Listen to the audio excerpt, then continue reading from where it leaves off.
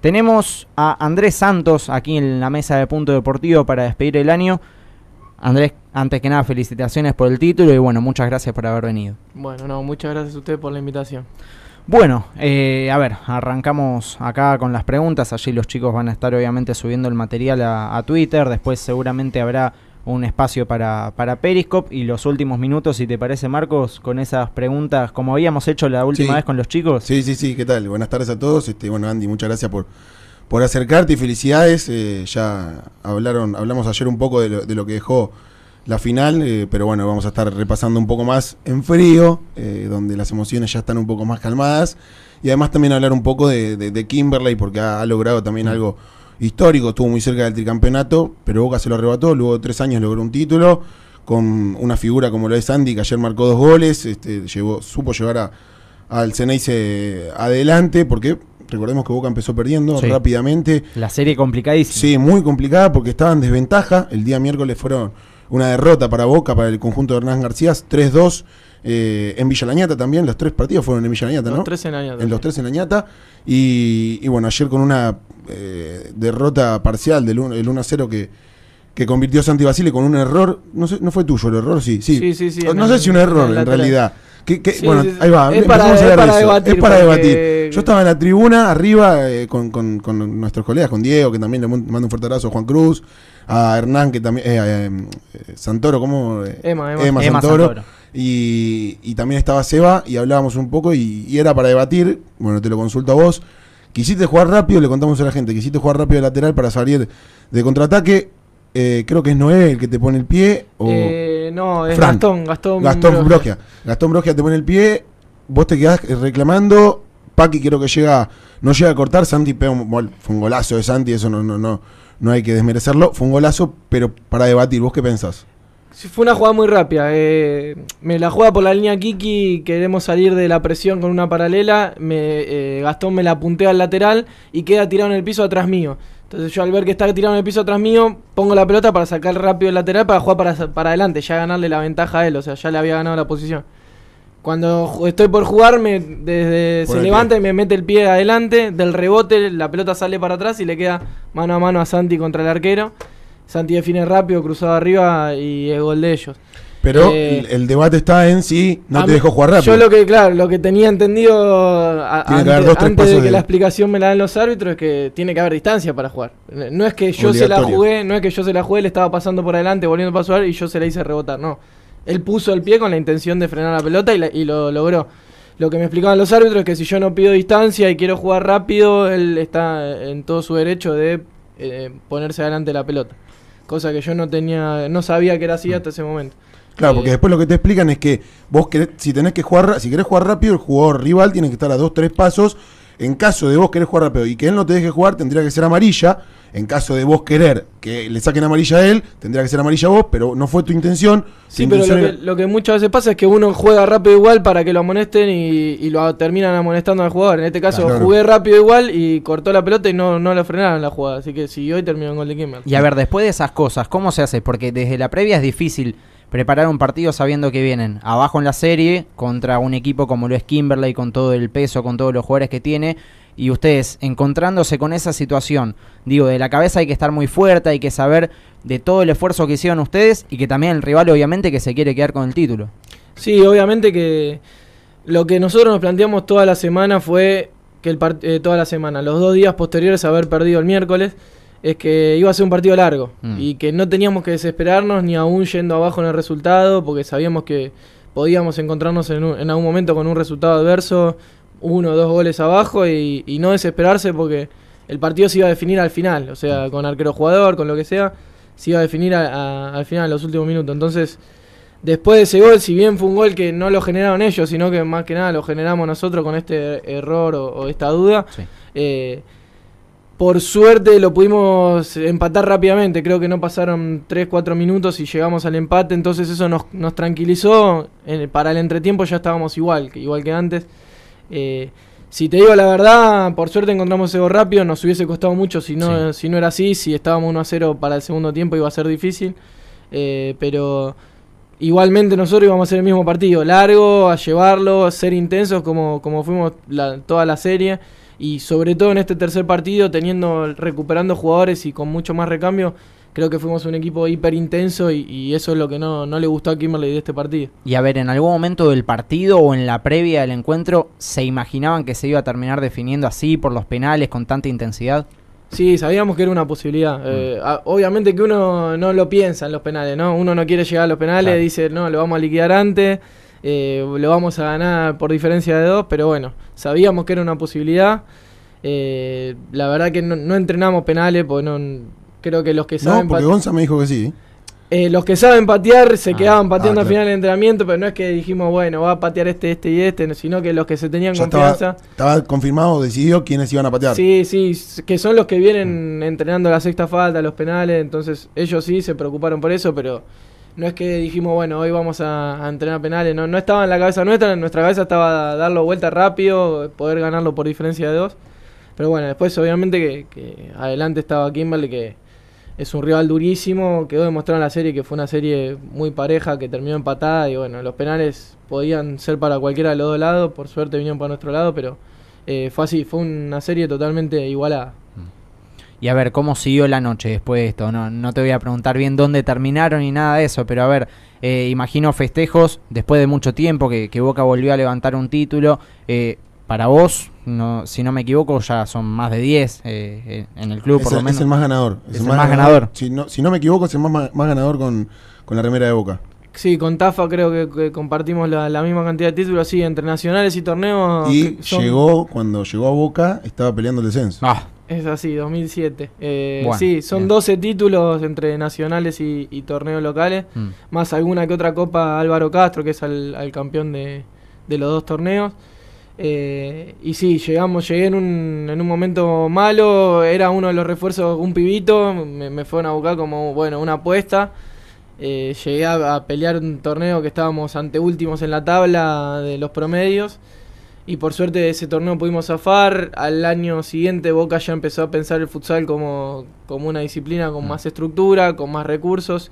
Empezaron a llegar refuerzos de jerarquía y a partir del 2008 en adelante se, se empezaron a pelear todos los torneos. Ya- A ver, eso está bueno, ¿no? Eh, por el lado de Boca y también por el lado de la AFA. Primero por Boca, porque en algún momento, a ver, a mí me apasiona, además del fútbol y el futsal, el básquet. Y sé que desde Boca tal vez como que se le dejó de prestar atención a ese deporte y bueno, tuvo que pelear también por la permanencia en varios casos. Ahora en el futsal se le volvió a dar importancia. Eh, y desde la AFA también, ¿no? Desde la llegada de Chiquitapia, que es alguien, eh, una persona muy futsalera, que le da mucha prioridad a la selección, obviamente, que trata de tener todo en orden, que se construyan estadios eh, y bueno, que, que cada vez más gente vaya a ver los partidos de futsal. Digo, creo que te agarró también en una época justa, ¿no? Para, para empezar a desempeñarte en el deporte. Sí, yo, yo iría más allá de la AFA. Yo creo que es desde FIFA viene esto de- del impulso al futsal, al fútbol playa, al fútbol femenino, que Sí, son sí. tres, eh, tres disciplinas ligadas al fútbol profesional que conocemos, pero que tienen menor difusión. Y bueno, Sí. creo que FIFA está haciendo ese laburo de empezar a darle importancia a esos deportes, entre los cuales está el nuestro. Obviamente que es importante tener un presidente como Chiqui Tapia que apoya este deporte porque es fanático de su club que, que compite contra nosotros también. Eh, y es como decís, es, es fundamental el apoyo. Si no tenemos el apoyo de la organización madre, eh, por más que nosotros hagamos cualquier esfuerzo Seguro. como jugadores individualmente, eh, va a costar muchísimo más, va a costar el doble. Entonces, teniendo ese apoyo desde, desde arriba, es mucho más fácil todo. Eh, Marcos, perdón por la pregunta obvia, ¿no? A ver. Pero, ¿Por qué futsal? Eh, la verdad que es como vos, yo no, no conocía el deporte hasta antes de practicarlo, no es que soñaba de chiquito con jugar al futsal. Yo jugué en cancha de once hasta octava, séptima división en Arsenal, soy allá de Ajá. Sarandí. Eh, y en un momento empezaban a entrar a la mañana, mis viejos, los dos docentes, obviamente estaban en Colegio. contra de que deje el colegio para empezar a entrenar, a hacer turno noche y esas cosas medio raras. Eh, empecé a jugar en un club de libres que entrenaba por la tarde, que tenía más tiempo y no me acuerdo quién, creo que mi hermano más grande, Nacho, ya estaba probándose ahí en Arsenal. Me dijo, venite a jugar al futsal, es un deporte nuevo, era nuevo por lo menos en el Sí, club. sí. Y nada, empecé ahí bajo las órdenes de Lechuga Castro, ahí en Arsenal, hace muchísimo tiempo ya. Y como te digo, no conocía nada del deporte, era como jugar al papi fútbol con otras reglas y bueno, lo tomaba como eso, como de- en vez de jugar con mis amigos, jugaba en un club representando a un club. y bueno, ahí empecé a, conocer un poquito más, empecé a, adquirir conceptos, eh, aprender y, bueno, uno va evolucionando con el tiempo, va encontrando mejores entrenadores, va encontrando mejores canchas, va encontrando otras cosas que, que lo van haciendo crecer como jugador, ¿no? Creo que eligió bien, ¿no? Porque Arsenal, Arsenal está complicado ahora en el fútbol. Y se fue Grondona. Sí, está complicado, Y, él viene de ser campeón. Eh, ya te voy a dejar obviamente con tus preguntas. Tenemos tiempo. Eh, estás en un plantel que más allá de este título tiene jugadores de selección, tiene jugadores reconocidos. El ejemplo que primero se me viene a la cabeza es el de los Vaporaki, ¿no?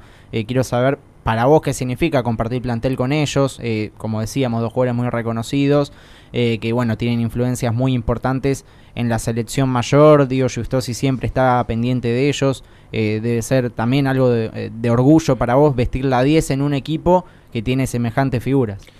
Sí, sí, eh, a ver, yo creo que lo de la 10 es algo más por, una cuestión de trayectoria, porque en su momento me quedó a mí, eh, porque, bueno, nada, no había otra persona para usar esa camiseta, ese, simbólicamente. Eh, no me siento el 10 del equipo ni mucho menos. Tranquilamente la podría estar usando Kiki, Kevin, Gonza, cualquiera de ellos podría estar usando esa camiseta. Es, por una cuestión más de trayectoria que otra cosa. Y como decís, sí, es fundamental tener eh, esta clase de jugadores en un plantel porque a uno lo potencia, ¿no? Entrenar teniendo que marcar a Kiki en un entrenamiento no es lo mismo que tener que marcar a cualquier otro jugador. Entonces, a uno lo obliga a mejorarse, porque si no, te pinta la cara. Es así de fácil. Si yo en un entrenamiento a Kiki le voy liganito, lo, lo marco como así por encima, me va a pintar la cara, entonces eh, te obliga a mejorar, eh, obliga a mejorar a los compañeros, obliga a mejorar a los que juegan con él en su cuarteto también, porque entender un jugador que quizás está un poco más adelante que, el resto, un paso más adelante. Mm. Lo mismo con Vapo, bueno, Lucho, Gonza, Kevin, tenemos jugadores que la verdad hay muchos jóvenes con mucho futuro, hay jugadores de actualidad, hay jugadores que tuvieron un pasado espectacular en la selección y y bueno, ese combo de... Y Hernán. Y bueno, y la dirección técnica de también una persona que estuvo mucho tiempo ligada a la selección, mucho tiempo adquiriendo conocimientos en Europa, que vivió todos los, los momentos de un partido, vivió todas las situaciones que se pueden vivir, jugó mundiales, jugó Copa de Europa.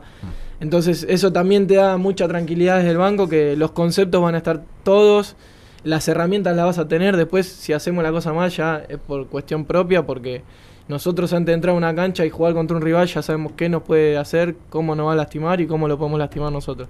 Eso lo tenemos de antemano sabido. Eh, yo te quiero preguntar acerca de, todo lo que se vivió durante el año, porque fue complicado, hubo muchas lesiones. Eh, Kiki llegó, no sé, yo ya le decía, eh, ¿a quién le rezaste? ¿A, ¿A, dónde fuiste a caminar? ¿Qué promesa hiciste para poder llegar? Porque hace dos semanas hablé con él, me dijo, estoy descartado, no llego ni ahí. Hizo una recuperación no sé cómo, pero, pero alcanzó a llegar. Y yo le digo, llegaste en un 60, 50%, pero diste un 110. Entonces vos que estás más cerca que él, que compartís siempre vestuario, compartís entrenamiento y todo, que, lo viste hacer algo particular. Eh, Explícame, porque la verdad que. Es como te digo, son esos jugadores que son, son, son competitivos, nacen con la competitividad adentro. Lo mismo Santi del lado de Kimberley o, Nacho sí, son eh, esos estos últimos cinco partidos se tiraba el piso acalambrado. Son, son esos jugadores, o Dami son en San Lorenzo, son esos jugadores que nacen con la competitividad adentro, que. Eh, pueden estar en una pierna, pero vos no te vas a dar cuenta cuando están adentro de la cancha que están así, o sea, no, no lo vas a sentir.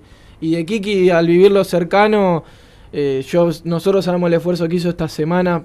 Creo que hacía hasta triple turno de kinesiología. Se, pasó más tiempo en kinesiología que en la casa. Sí, sí, hacía triple turno, casi que dormía en el consultorio del kinesiólogo de, Boca, que también es un crack que estuvo siempre atrás de todos nosotros. Eh, eh, hizo un esfuerzo espectacular esta semana para llegar. Llegó, obviamente, en un 60-70%, pero bueno, un 60-70% de Kiki a nosotros nos sirve muchísimo. así que eh, lamentablemente se lesionó en los playoffs. Eh, quizás si esa lesión lo hubiese tenido antes, si hubiese podido tratar de otra manera, con menos pero bueno, ayer llegó, jugó como tenía que jugar, eh, estuvo, estuvo bien y por suerte, bueno, lo pudimos, lo pudimos utilizar aunque sea el último partido, que era el más importante también. Pero como te digo, son jugadores como Vapo, como Lucho, que tienen la competitividad adentro y, una lesión obviamente que los puede descartar, pero ellos van a querer jugar, van a hacer todo lo posible por estar y cuando estén no van a poner como excusa la lesión, sino que van a dar todo dentro de la cancha. Eh, Andy, hace un rato observaba un poco tus redes sociales, ¿no? Para tratar de, investigar un poquito, a ver qué, qué, jugo le podemos sacar a esta nota. Eh, bueno, vi que tenés a Falcao en, la foto de portada, ¿no? En tu Twitter. Sí. Tratás de imitar, obviamente es complicadísimo, ¿no? Porque es un crack del, del futsal, el mejor de todos los tiempos para muchos, pero ¿qué cosas tratás de ver de él, digamos, sabiendo todo lo que significa o lo que, bueno, por algo está en tu foto de portada, ¿no? No, no, de Falcao eh, está en mi foto de portada por lo que representa Falcao para el futsal. Yo creo que es el jugador que representa el futsal. Ajá. Entonces, haber podido enfrentarlo en más de una oportunidad y bueno, eh, justo estoy, estoy marcándolo en esa foto. Eh, para mí es como, es lo máximo, es lo máximo. Obviamente que después se puede ganar un mundial, todo, pero bueno, haber estado ahí, enfrentarlo, eso para mí me, quedó marcado de por vida. ¿Ese fue el partido en el Maracaná? No, eh, también jugué contra él en el Mané Garrincha, en Brasil. Pero ese no, ese el de la foto es en San Pablo, que también había 8.000 personas, cancha llena, que empatamos 6 a 6, fue un, partido histórico.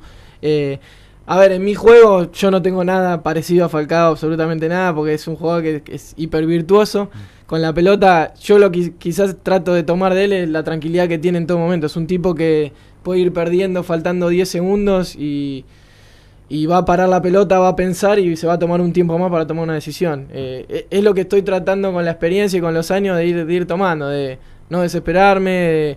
ayer cuando tuve quizás el error ese del lateral, de no irme del partido, que quizás en otro momento, siendo más chico, me, hubiese pasado. Eh, esas cosas, uno va tomando de los jugadores que, que, marcan el, que marcan lo que es el futsal, tomando lo mejor, las cuestiones que uno trata de de que se vuelvan propias y nada, obviamente como jugador no puedo imitarle nada porque es de otra galaxia, pero sí admirarlo, sí es una admiración profunda. A ver, eh, ¿lo puedo sacar un segundito del futsal? Sí, antes déjame, déjame decirle que él, no dice, él dice que no tiene nada parecido a Falcao, pero yo te afirmo que, fue una de las figuras del torneo, una de las figuras de ayer de, la, de la, toda la final y de todos los playoffs. Eh, ayer cometió los dos tantos. Sí, sí. Y, como dice él, a pesar de, de, tener el error ese, el error entre comillas, porque eh, como decíamos al principio de la nota, es para debatir. Entonces, bueno, yo eh, elijo decirlo y, también te felicito porque han hecho una gran final. Tanto ustedes como Kimberley fueron ambos muy respetuosos y había mucha gente.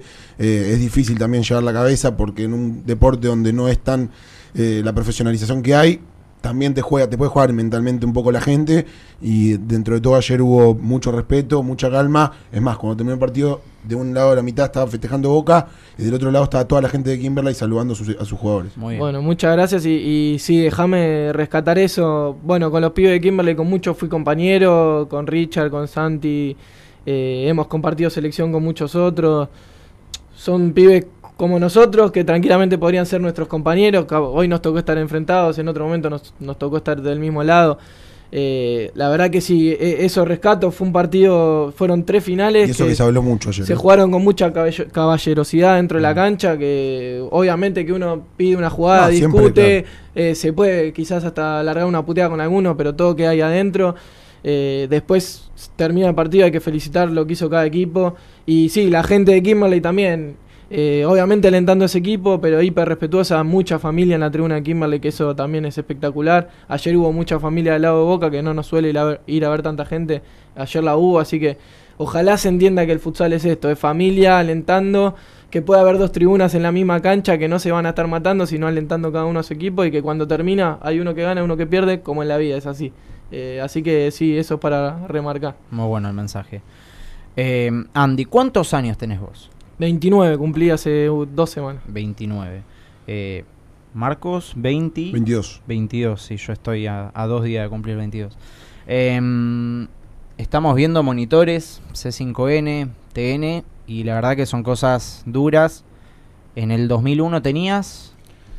2001, 13, me, acuerdo por el, por el, torneo de Racing, me acuerdo porque siempre me, me, va a quedar marcada esa edad. Ahí te voy a preguntar eso también, pero ¿te acordás algo de ese momento? Porque nosotros la verdad, más allá de que lo vivimos, son imágenes muy fuertes y más allá de obviamente que tu cabeza está en lo que pasó ayer eh, y el título de, Boca, obviamente que son cosas que, duelen ver, eh, dentro de un rato vas a, estar en un evento también muy importante para Boca y la verdad es que tener que atravesar por todas estas cosas imagino que van a ser muy difíciles. Eh, seguro, seguro. En ese momento, como te digo, yo era chico, iba al colegio. El otro día lo hablaba también con, con mis amigos eh, en un momento que, que en el 2001 quizás a nosotros no nos afectó tanto porque no se nos estaba tocando nuestro bolsillo, Claro. se estaba tocando el de nuestros viejos, entonces como nosotros indirectamente, o sea, directamente no nos afectaba, Seguro. nos pasó medio por el costado. Pero sí quedó marcado, creo que, que fue marcó precedente lo que pasó en el 2001 y obviamente que me imagino que ninguno quiere que se vuelva a repetir ni un suceso, pero ni siquiera parecido. Eh, esto que estamos viendo sí es lamentable, sobre todo por lo que se está por lo que se está tratando en el Congreso, que es, es la plata de los jubilados, Sí. o sea que Sí. eh, a los abuelos que son los más indefensos, mm, bueno, yo creo que no habría que tocarlos, ¿no? Pero bueno, ese es otro tema, son cuestiones políticas, yo la verdad mm, me gusta hablar de política, mi novia es politóloga, así que nos la pasamos hablando de política, pero eh, tampoco es, tampoco creo que estamos en un momento como para lanzar afirmaciones o, Ah, cosas así, porque cualquier cosa Sí, es tomada para mal, cualquier cosa es tomada para debate. Y nada, lo único que, que espero es que, que la cosa se solucione, que se puedan pasar unas fiestas en paz y, Ojalá. y empecemos a unirnos un poquito como argentinos. Es lo único que, el mensaje que, que espero que podamos eh, tratar de agarrar todo, nada más. Ojalá. Eh, recién decías, eh, tu novia es politóloga. Vos, fuera del futsal, ¿a qué te dedicas? Yo soy licenciado en publicidad. Ajá. Eh, bueno, tengo una liga de futsal también, un proyecto propio en el cual soy el community manager, manejo todas las redes, manejo Ah, lo que mira. es el marketing de la liga. ¿Querés tu hermano, ¿no? chivo? Con mi hermano, el- la Liga Futsal 5 se llama, es una liga que, que tenemos allá por zona sur, Bien. nos estamos expandiendo para capital. Empezó hace dos años y la verdad que está creciendo, estamos contentos, es un proyecto parecido a lo que hace AFA, así que eh, es una buena salida también para los clubes de barrio. ¿Quién te Sí. dice que Punto Deportivo no aparezca en un tiempito? Eh? Bueno, ¿Quién estaría buenísimo, estaría buenísimo que, que puedan venir a cubrir, porque la verdad que para las últimas finales se movió mucha gente, había casi Sí. tanta gente como ayer en Kimberley, bueno. eh, ayer en Lañata, perdón. Eh, así que sí, estamos muy contentos de ese proyecto. Además trabajo en un estudio de diseño, eh, Bien. Trabajo en un colegio dando clases de marketing, así que sí, tengo varias, varias cosas. En el, el año pasado era entrenador de inferiores en Boca. Y este a año- partir del año que viene va a trabajar para Punto Deportivo. Ah, mirá vos.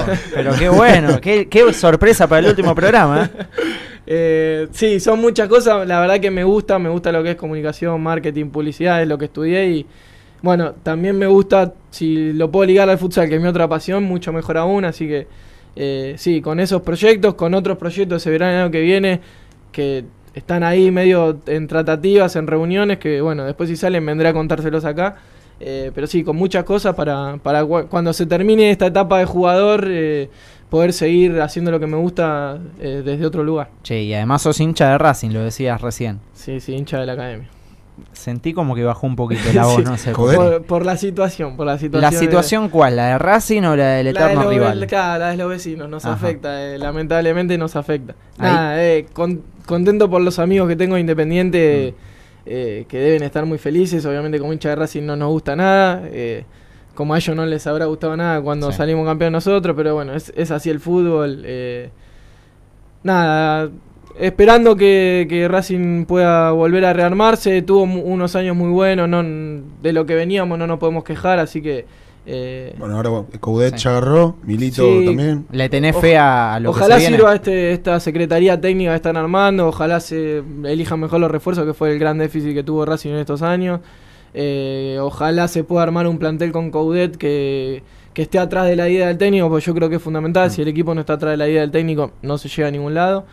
Y ya te digo, tampoco es tan negro el panorama como para... Se viene la copa, ahora el, el miércoles es el sorteo. Se viene la copa, o sea, tampoco es tan desesperanzador, así que nada, esperando ahora que termine el año y arrancar el año que viene. ¿Puedo preguntar? Sí, por favor. Quiero que me hables de los perros viejos. Por favor. Le- Quiero que la gente se entere también. Los perros viejos fue algo que surgió de la mano de Vapo, de, de Alamiro Vaporaki, que, que nada, empezó con un dolor en la rodilla, con osteocondritis, bueno, te contaba que jugó las finales en una pierna y la jugó con esta competitividad de la que hablábamos antes, eh, que, que es admirable. Y nada, empezó como, bueno, estamos viejos, que las lesiones, que estamos que somos los perros con sarnoso, con pulga, que estamos ahí tirados en la calle, eh, que no se mueven de la cucha, que están ahí atrás. Y empezó como un chiste de los perros viejos, los perros viejos, y cada vez se iban sumando más al grupo los perros viejos, porque eh, ya estamos, somos varios los casi 30 o más 30 ahí en el plantel. Pero son los que terminaron jugando ayer y, en enganche. Y bueno, con eso jodíamos también, que al final estamos los perros viejos siempre eh, adentro de la cancha jugando. Eh, pero nada, es un chiste Sí. interno, nada más que eso. Y, y nada, lo tomamos. mu- eh, a ver, nos ¿Quién es agarramos. el líder de los perros viejos? Eh, va, pues sin duda, vamos. Nos agarramos de las lesiones, de los dolores con algo cómico, pues si no tenemos que estar todos Claro. en kinesiología llorando. Así que tratamos de, de darle un tinte cómico a eso. Y bueno, también te voy a preguntar, porque eh, no, lo puedo pasar por alto, esto de eh, la dedicación. eh, de- ustedes ayer me lo, hablábamos, y, y tanto como con vos, como con Kevin, como con Gonza, como con Kiki, como con eh, Vapo, también eh, es un, deseo común y, una manifestación de, de- de agradecimiento y también de, apoyo a la familia por todo lo que ocurrió el año pasado. Luego de, de la primer final fue ocurrió el, fallecimiento, el trágico fallecimiento de, de Matías Kruger, que también aprovechamos para mandar Sí. un fuerte saludo a la, a familia. Y, y bueno, todos eh, fue algo en común, hablaron tanto vos como todos de, de lo mismo y de que esto desde el principio de año fue todo lo que hacíamos era por ellos, todo lo que lo que hacíamos de aquí en adelante, y me lo dijiste vos después del partido contra River en, en el Quinquela, eh, ¿cómo, cómo, cómo también me surge eso? Eh, Es así, es como te digo, de- después de, la, de terminar la final del año pasado, que, que yo tampoco la terminé, terminé en el hospital, no sé si te Sí. acordás, eh, cuando nos juntamos esa semana como para cerrar el año, eh, después de todo lo que había pasado y bueno, y reuniones y, y- y en el medio y todo eso, dijimos que, que de ahora más todo lo que, ah, los que estábamos, los que se fueron, dijimos que cada cosa que íbamos a hacer la íbamos a hacer por Mati. Eh, el plantel se unió a- dentro de esa consigna, digamos. Eh, y bueno, pasó eso. Este año, si bien eh, no quisimos tener la cabeza puesta siempre en eso, Mati estaba ahí, siempre estuvo ahí. Y sobre todo ahora en las finales, y justo la final contra el mismo equipo, y justo en la fecha que se acercaba, o, o pasó la fecha que- de la tragedia, eh, obviamente que volvió a aflorar, eh, volvió, a, volvió a aparecer el, sen- el sentimiento ese de, tristeza y, bueno, y, de búsqueda de, revancha por Mati, no, de revancha por, por, darle a Mati lo que él soñó siempre, que era salir campeón con la camiseta de Boca. Eh, para mí en particular es, mucho más especial porque falleció el día de mi cumpleaños, o sea que yo me levanté con la noticia de, de lo de Mati el mismo día que cumplía años, entonces eh, a mí me marcó para siempre esa fecha y, y- y lo voy a recordar siempre. Eh, nada, y bueno, como vos decías, es dedicárselo a la familia, es eh, hacer lo que él quiso que hagamos todos juntos. no está físicamente, pero sí está Pero en el plantel de otra Está. manera, así que eh, eso, eso, es eh, dedicárselo, eh, es pensar en él, pensar en que está allá arriba disfrutando de este torneo con nosotros, así que nada, nada más que eso, dimos todo lo que teníamos para dar, siempre estuvo ahí en el medio y siempre estuvimos pensando de que por él también había que hacerlo, así que por suerte ayer los penales quedaron para nuestro lado y, se lo pudimos dedicar a él. Y, bueno, es- es- está claro que no, no se puede tampoco evitar el tema, pero eh, ¿qué, qué- fue también lo que se te vino a la cabeza cuando patea Kevin y, convierte? Eh, está claro que es un poco esto de todo lo que venimos hablando, pero eh, intentando sacar esto de, de- de- de lado, creo que también la familia, eh, eh, todo lo que, lo que representa el año de trabajo, un año complicado, como decís vos, muchas lesiones, fueron campeones en el torneo nacional en Misiones hace, creo que fue en abril, mayo, cuando no me acuerdo cuándo fue. Y, bueno, un, año cargado que, también tomó a, varios jugadores de ustedes yendo a la selección, a la Copa América, luego a la Liga Sudamericana. eh, es como decimos, muchos llegaron cansados. Y creo que, también eh, es un momento de satisfacción, un momento de alegría de- de- de estar con, con la familia. Entonces te pregunto, ¿qué fue cuando Kevin metió? Que aprovecho para decir también un penalazo, lo clavó Sí, arriba. sí, los dos patearon espectacular, Muy Kevin bien. y Lucho patearon Eh, espectacular. Entonces, ¿qué, qué, fue lo que, que te- se te vino a la cabeza? No, eh, mirá, eh, no sé si te lo dije a vos ayer o a un colega tuyo, que, que para los que estamos hace tanto tiempo en el club, yo ya voy a por el año 11 seguido jugando en Boca, eh, e- es mucho peso el que se había generado de no poder salir campeón, llegar a finales y perderlas, de tener el supuestamente, y hago comillas, eh, mejor plantel, eh, armarse para esto y quedarse ahí en la puerta de los títulos. Era mucho el peso que se había generado eh, eh, en la espalda de los que estamos hace más tiempo y, y ayer cuando Kevin lo metió, se- me caí al piso, se, se me desarmó el cuerpo, se, se- salió toda la tensión. Creo que hasta me largué a llorar en ese momento. Eh, nada, era como. Nada, fue como una liberación. Una liberación, se me aflojaron todos los todo. músculos. eh, lo que te decía, creo que me aparecieron todas las lesiones de golpe. Hoy no puedo caminar. Pero eh, era un. Pero es la mejor. Claro, son era- las mejores lesiones. Estaba esperando, estaba esperando para liberar todo eso. Eran los nervios, el estrés, la tensión de, de- de tener todo eso acumulado. Lo que vos decías, creo que entrenamos más que nadie este año. eh, un equipo que entrenó doble turno, que entrenamos feriados, entrenamos a la mañana, a la noche, a la tarde. eh, no tuvimos nunca excusa, nunca un pero y siempre se entrenó porque sabíamos que no podíamos regalar nada. Sabíamos que si queríamos ser los mejores había que empezar los entrenamientos y había que mostrarlo en la cancha. Ya no vale más los títulos, los nombres, eso lo tenemos clarísimo. Ya con apellido no se gana nada, lo tenés que demostrar dentro de la cancha. Y bueno, por suerte fue una final muy pareja, pero pudimos demostrar que estábamos a la altura de esa final y pudimos quedarnos con el título. Yo, para ya ir cerrando, te, hago la última, que, no me quería quedar con las ganas de preguntarte esto de. eh, hace tiempo que se viene hablando de Boca, de, de- de- de- no solo de futsal, sino de todos los deportes, de que desde el lado de la dirigencia le están dando menos apoyo, le están dando eh, menos bola, por así decirlo, eh, a todo lo que es lo polideportivo, que, para mí tampoco es polideportivo, pero se les dice así. Y, hace una semana salió campeón el vóley. Eh, el básquet este está medio ahí, se había salvado el descenso, pero creo que también había festejado con algo, no me acuerdo con qué. El futsal sale campeón y entonces vos que estás desde adentro, eh, hablame un poco de lo que significa todo esto. Hoy, si no me equivoco, van a tener una reunión donde va a haber dirigentes y, y entonces este, quiero que, que- que expreses un poco, porque se habla mucho, dicen que no le dan bola, que no tienen el presupuesto económico que necesitan, de que entonces eh, quizás alguien de adentro que, que No, mira, yo, yo te puedo hablar de lo que respecta al futsal. A ver. Y lo que respecta al futsal, la verdad que siempre nos trataron eh, de la mejor manera. No, no podemos tener ni una queja con en cuanto a la dirigencia porque tenemos un utilero, tenemos un kinesiólogo, tenemos un médico todos los entrenamientos. Eh, no dejamos ni para lavar una, o sea, no nos llevamos ni para lavar una media. o- tenemos agua mineral todos los entrenamientos. Son cosas que uno habla con los chicos de otros clubes y te dice, no, pero para nosotros tomamos agua de la canilla o, no, o tenemos ya un bidón para entrenar. Son pequeños detalles que hacen a lo grande, digamos. Y, y después económicamente también tenemos el soporte. Hoy mucho de, de nosotros, bueno, fuera de yo, todos los trabajos que te decía que tengo, que son por cuestiones propias, porque me gusta a mí. Eh, hay muchos de los chicos que viven de esto, viven para esto, entrenan para esto, tienen un sueldo que dentro de todo les sirve para, para mantenerse. Y es, difícil en un deporte como el nuestro poder vivir de esto.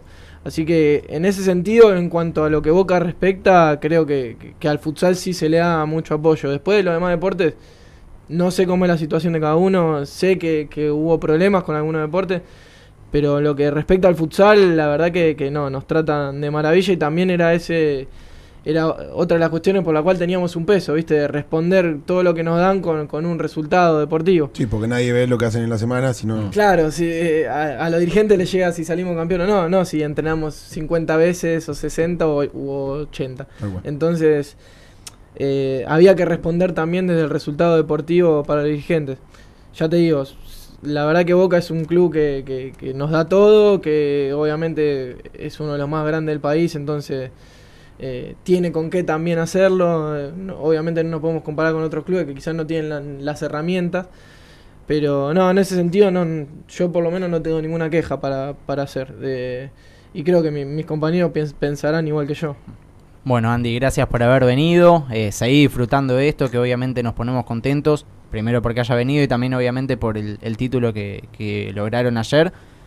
El año que viene te esperamos en algún momento que, puedas venir con todas las cosas que, que dijiste que haces y ojalá que sea un mejor año para Racing también, ¿no? Sí, también. Bueno, bueno, muchísimas gracias por la invitación. eh, eh, siempre que podamos ayudar a los medios que difunden el deporte, eh, bienvenido sea. Nosotros siempre vamos a estar para ayudar.